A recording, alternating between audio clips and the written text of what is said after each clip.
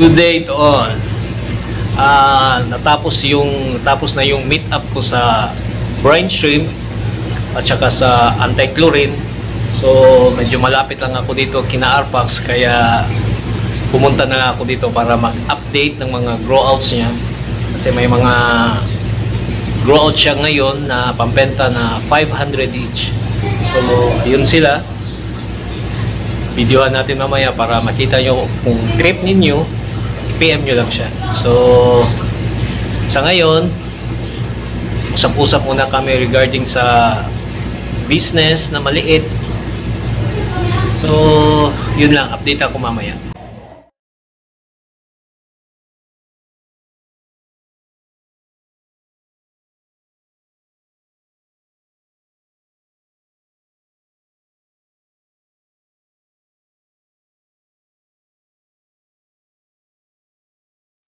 So, ito yung setup ni Arpax Arpax. Bali, ito yung ground floor niya. Meron pa siyang setup sa taas. Bali, andito.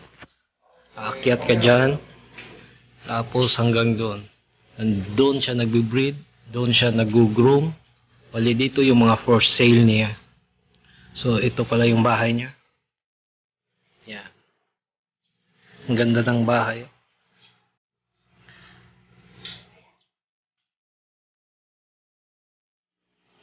So, ito na siya guys. Kumuha siya ng t-shirt kasi daw pangit daw kung walang t-shirt. Ito yung. Ganda ng t-shirt niya. Para sa akin din. Ayun. So, again, ito si Arpax, maker ng Dalton Mix. Kilala nyo na to. So, check natin yung mga growths niya.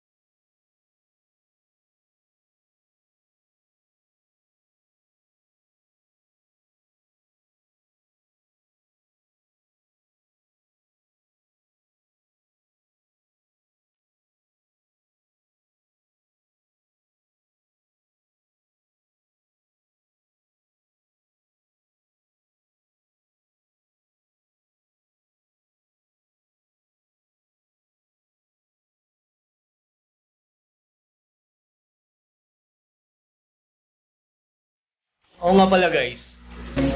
I-advertise lang namin yung negosyo niya dito sa Turil. Ah, stick in prints. Bale, more on school supply siya. At saka may tarpaulin printing din siya. T-shirt printing, ah, personalized tumblers, ah, mugs, ito, mga t-shirts na ano, sublimation, ah, marami po po. Lahat ng klaseng printing po. So ayun guys, kung need, kung meron kayong need ng mga gaya ng mga sinabi niya, i-PM nyo lang siya, especially kung nasa Turil lang kayo, kaya nasa downtown Davao kayo, mas makakamura ka sa kanya kasi dito sa Turil, isa siya sa pinakamura. Mapapamura ka. Mapa, mapapamura ka. Kung nga pala guys, papapasok kami sa Goldfish, bibili kami ng mga breeders, hindi pa sure, pero yun yung topic nam- namin ngayon. Siguro mag-on breed kami ng goldfish. Mag-breed kami bago kami magbenta. Siyempre, hindi kami magbabay and, buy and sell. So, update-update na lang guys. Kung matutuloy, update na lang ako. Shout out, friend. Shout out, Team Turil. Guys, nakita nyo na yung mga grow outs niya. So, 500 each lang yun. So, kung trip ninyo, i-PM nyo lang to. At saka ito yung Facebook niya. So, kung need nyo rin ng Dalton Mix, kung gusto nyo i-try, i-PM nyo rin siya. At saka meron din sa akin kung malapit kayo sa akin. So, ayun lang. Goodbye!